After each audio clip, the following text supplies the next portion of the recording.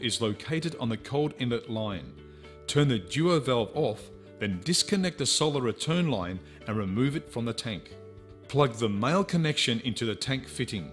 Leave the return line end of copper pipe open.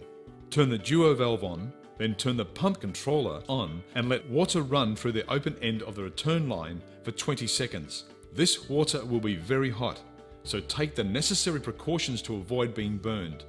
Turn off the duo valve, remove the cap on the tank fitting and quickly reconnect the open end of the return pipe before any air can get in the line.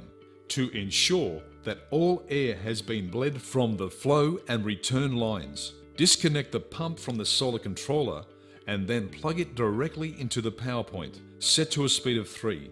Loosen the screw on the face of the pump and allow the system to run for 3 minutes. Water should trickle out of the fitting. Once this happens, tighten the screw back up.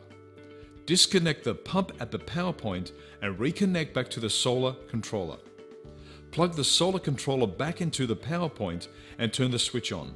This is crucial in maintaining correct roof sensor temperatures and proper operation of the solar hot water system. Do not bleed the line through the pressure temperature relief valve. Turn the pump speed down to its slowest speed.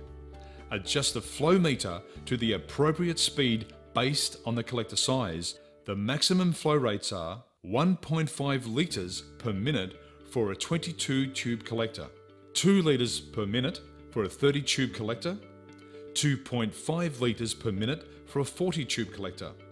It is important to check all the connecting pipes to ensure that there are no leaks.